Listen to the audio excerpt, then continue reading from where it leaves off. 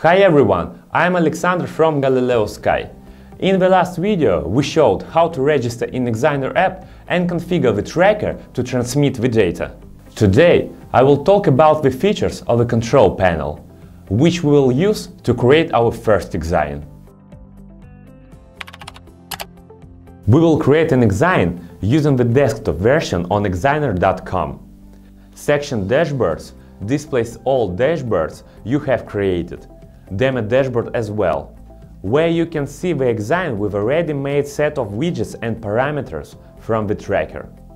We will create an Exign from a pure dashboard, so we return to Dashboard section and click Add Dashboard.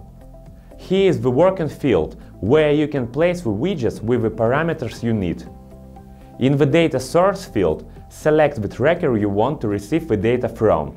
Also, the type of display, laptop or phone. It is really convenient for visual presentation of Exigner on different gadgets. To create our dashboard, leave the display on the laptop. The widget panel is on the left. Expand the list to find the desired widget and drag it onto the workspace. Later we will examine in more detail the capabilities of each. If necessary, you can hide this panel, for example, to see how the final result will look like. The Save button will be available immediately after you make any changes. You can add several pages to one dashboard, add different widgets and name the pages as you want.